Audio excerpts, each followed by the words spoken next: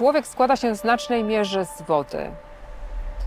Życie, zanim wyszło na ląd, najpierw pojawiło się w wodzie. Możemy przeżyć bez wody maksymalnie trzy dni.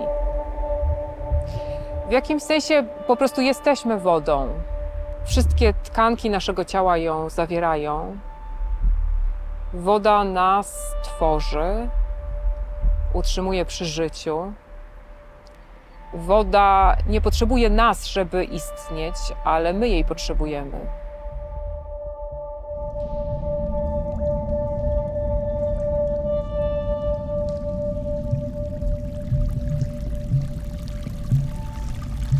Woda przepływa przez cały organiczny świat.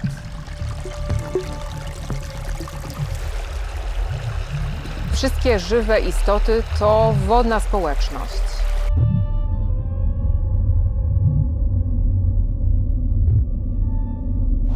Woda zmienia swoje formy, postacie, stany skupienia, ale zawsze jest jej mniej więcej tyle samo. I przez nas też przepływa. Mamy w sobie rzekę.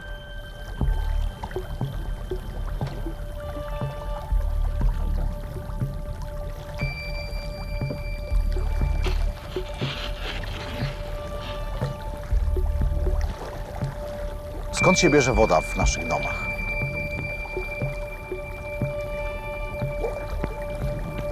Około 50% wody, która płynie w naszych kranach, którą pijemy, pochodzi z rzek i jezior.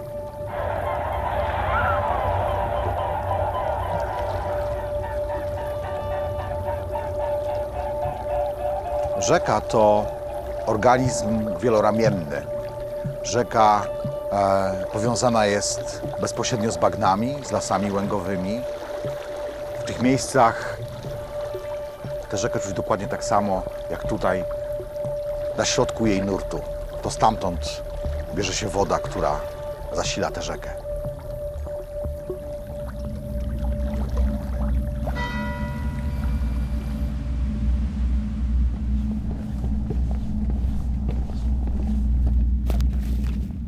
Bagna są dla ekosystemu jak nerki.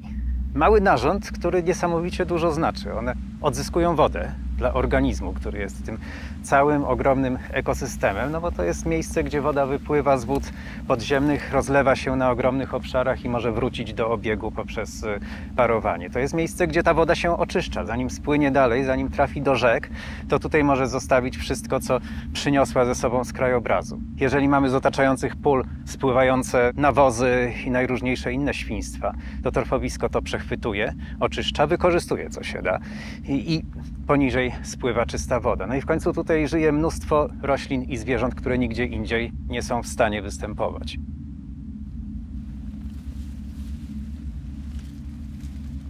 Dla mnie chyba najważniejsze jest to, że te wszystkie gatunki mają prawo do życia i mają prawo do tego, żeby mieć własny dom. Z drugiej strony trzeba pamiętać, że my od tych ekosystemów też zależymy. Jesteśmy częścią globalnego ekosystemu i jeżeli tego wszystkiego nie będzie, to i nas nie będzie.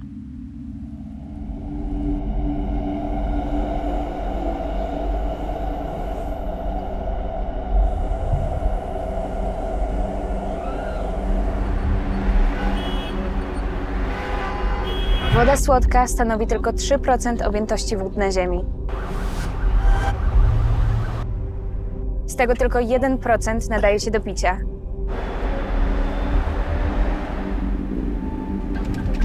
Do 2050 roku co czwarta osoba na świecie będzie cierpieć z powodu deficytu wody pitnej. Myślimy, że to dotyczy innych. Na przykład mieszkańców globalnego południa. Ale ten problem dotknie także nas, bo Polska jest w szczególnie złej sytuacji. Polska pustynnieje.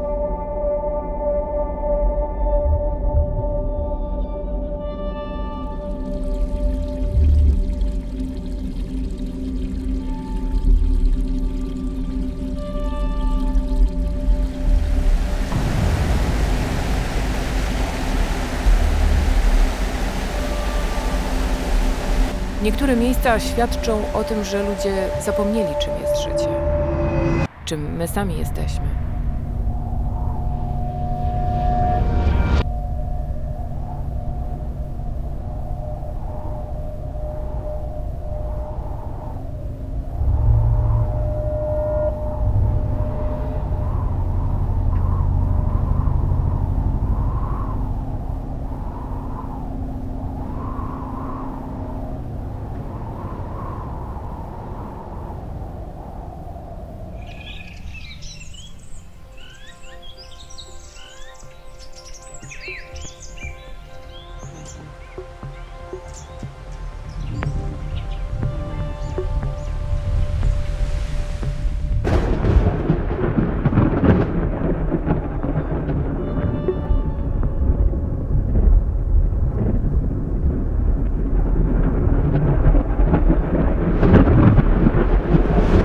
Kiedy rzeka jest rzeką?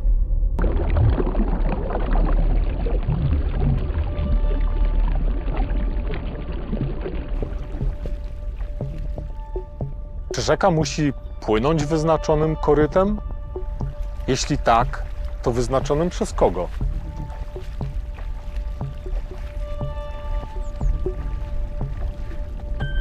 Czy żeby coś chronić, musimy to koniecznie wpisać w nasze książki i tabele?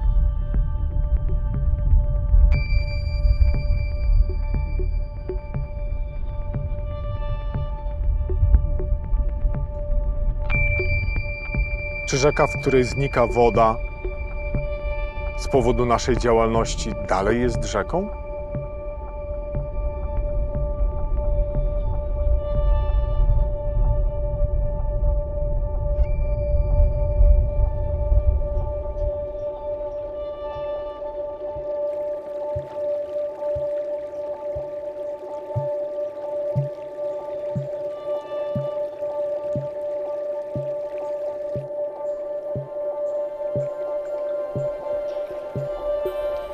Woda w kranie to też jest natura. Zmywając naczynia, obcujesz z naturą. Co zrobić, żebyśmy dostrzegli ciągłość pomiędzy wodospadem a tym momentem, kiedy myjemy zęby?